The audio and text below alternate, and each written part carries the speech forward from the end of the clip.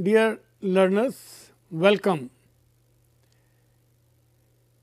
Today in this program, we will learn about the mitigation measures of the landslides and its management. Well, as we know, the landslides causes heavy losses to the nation, causes the loss of lives and damage to the properties. So, there is very important how we can mitigate with these landslides. Well, there is a need to develop appropriate measures for mitigating the losses due to the landslides. It should be cost effective and most important is that the effort should be made to use indigenous eh, technologies. Well, if we see the mitigation, we can have in four types is altering that is to modify the hazards involve eliminating or reducing the frequency of its occurrences. Then averting that is redirecting the impact away from a vulnerable location by using structural device or land treatment can shield people and development activities from harm. And then adopting that means pre-identified landslide hazards requires special building standards and construction practices in order to reduce vulnerability to the damages. And then lastly, the avoiding that means, they keep people away from the hazards areas or limit development in a risky area. There are various primitive measures. Let us see one by one. Most important is the drainage measures. Suitable drain be made for the controlled flow of runoff water, which will reduce soil erosion. Drainage culverts must have the capacity to take sediment loads, otherwise it will choke. So, we must take care of these small things. Well, upstream rivers should be diverted from the landslide prone areas and underground drainage be made for small channels and streamlets. While making the drains, there are different methods. One is the contour drain. Contour drains may be made along different contours at reasonable interval on slopes to channelize surface water to prevent percolation in the ground. Likewise, open diversion ditches to collect runoff water on the uphill side may be made and likewise catch water drain connected to the near catch pit areas are some of the best practices. Well, another important point is the perforated drain pipes may be implemented to control groundwater, which otherwise built up pore pressure in the sediments that facilitate landslide. Perforated drain pipes are used where groundwater is significant, which can be judged from the seepage condition in an area. The pipes could be PVC or steel fabricated. They are drilled at an angle of 15 to 20 degree nearly 3 meters below the ground surface and length of the pipes depends upon the site. Shallow surface drainage include the interceptor subsurface drainage, horizontal gravity drain and interceptor trench drain. Similarly, for subsurface drainage measures, horizontal drains, vertical drains and deep trench drains may be adopted as per site specific requirement. Now, another important measure is the grading of slope. As we know that the slope is a major cause of the landslide. So, we should look into it. So, slope modification techniques may be adopted to improve slope stability such as slope benches or terracing, flattening of slopes, removal of load at the slope head portion and enlarging the toe of a slope. These not only reduces the slope, but also trap the sliding material and regular monitoring of hill slope should be carried out for slope failures. Next important is the soil or debris removal work. It is also known as geometry modification measures. These are generally very effective in case of small to medium sized landslides. Soil or debris removal of the slide mass is generally undertaken from the crown portion downwards. In this process, benches are created at regular intervals depending on the properties of the material. Then construction of retaining walls and breast walls. These restraining structures are constructed to prevent small sized or secondary landslides that often occur along the toe of larger landslides. It also brings greater stability to dangerous slopes. Now, let us see the retaining wall and the breast wall. What is different between retaining wall and the breast wall? Well, breast wall are made on the hillside of the road and retaining walls are formed in the valley side. So, the stout embankments backpacked with boulders and gravels are constructed at the toe of the slope on the upper side of the road and heavy toe buttress of earth material are made for lateral support of the slope, whereas retaining walls are constructed at an angle of nearly 30 degree to sustain the overweight. Crib walls, this is another type of restraining structure. It is mainly used where the material is saturated. Crib wall is a supporting wall constructed by laying cribs at right angle to each other and these walls are preferred instead of conventional reinforced concrete retaining walls. Gabion walls are also provided as retaining structures where loose mass exists on the slope. Well, mulching and adding ground cover. This is an important aspect where mulch protects against rain and wind and reduces loss of soil moisture during extended dry periods. Then afforestation and reinforced vegetation. A thickly vegetated slope prevents erosion by the surface water because of natural anchorage provided by the tree roots, thereby increasing shear strength of the slope material. Large size tree cuttings and removal of vegetable cover on hill slope should be stopped. Afforestation is most commonly an economical method applied in case of treated slope on large scale. This not only provides effective covering to the slopes to protect erosion of soil and loose material, but also the roots penetrate into the ground helps in improving shear strength of the subsurface material.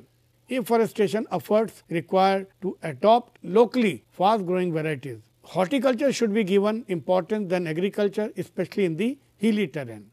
Then another important measure is the geofabric or coir jute matting.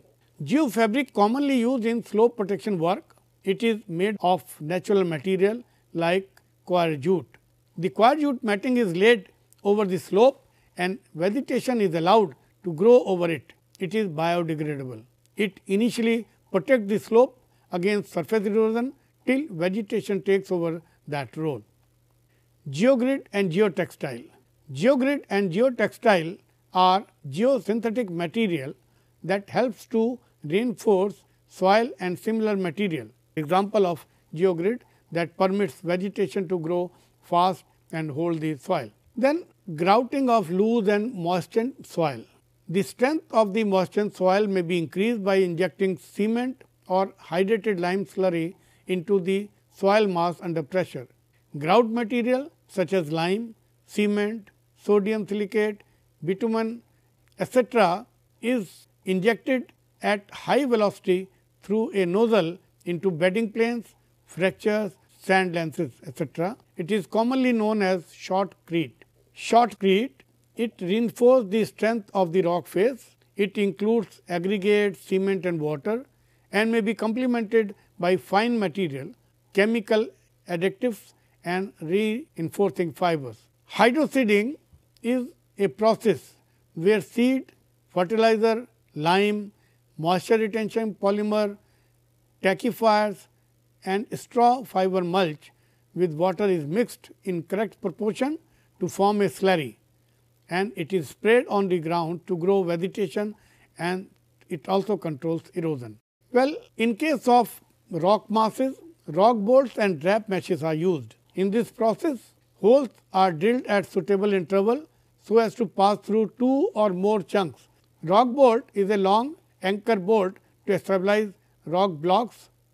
It is mainly used in tunnels or rock cuts and these are used to prevent rock falls. Trap mesh is used to stop the falling blocks. It reinforces the strength of the rock masses. Well, human settlement on the hill slope, it is very important aspect. The geological suitability of the site must be evaluated before giving clearance to urban settlement on the hill slope.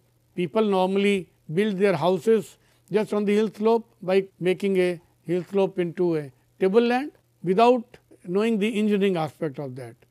An important aspect of the mitigation measure is also to create awareness among the people and they must be informed about the landslide prone areas. So, display boards may be put at the areas which are prone to the landslide to avoid accidents. Well, public participation is also equally important as a part of the mitigation measure.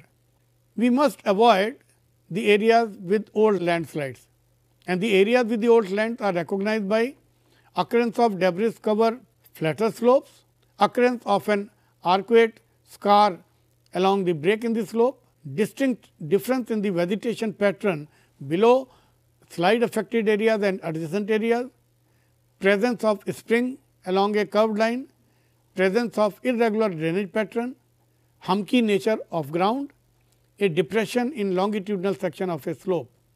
These areas may be avoided, else the old landslides are reactivated. As you can see in this photograph, the old landslide has been reactivated by the development activities.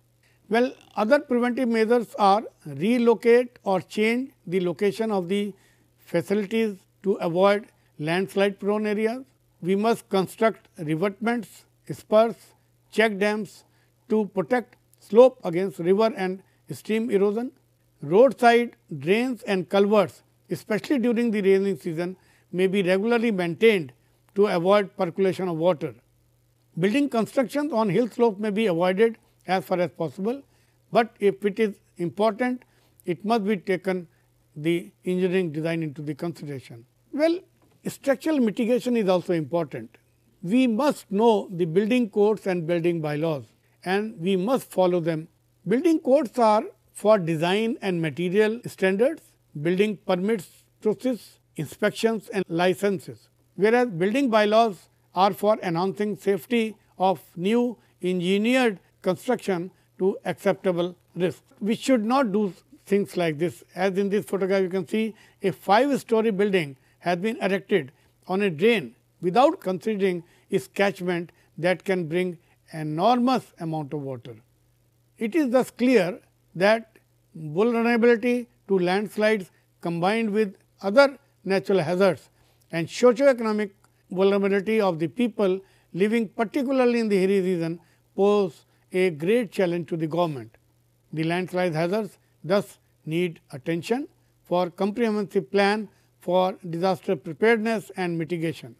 Well, landslide inventory includes the building up an inventory of landslide that is the history of old, active and inactive landslides in an important area to be looked into which may form the base information for undertaking further detailed investigations and analysis for designing optimal and effective action plans.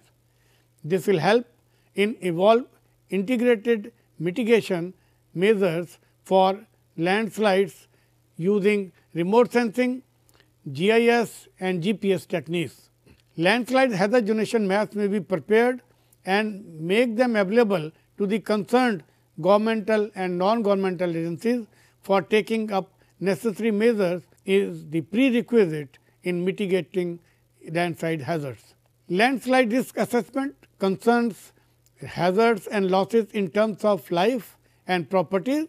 It would help in generating reliable database for better planning and formulating various alternative plans to minimize threat to human life and property. Well, monitoring and analysis of the landslides is an important aspect. The magnitude of destruction depends on the location of the landslide. So, recognition of precise causes of landslide is very important. Professor Valdiya in 2002 has suggested formulation of a public policy for hazards management and strengthening of machinery for coping with hazards risk through public cooperation, which are imperative of the environmental security and planning for development. Dear learner, we discussed about the mitigation measures in this program. As we have seen, there are various mitigation measures to check the landslides, but all depends upon the site specific conditions of the landslides. And as I mentioned about the management of these landslides, everybody has a role to play and the people's participation is very important. The local community is rather very important for this. Thank you.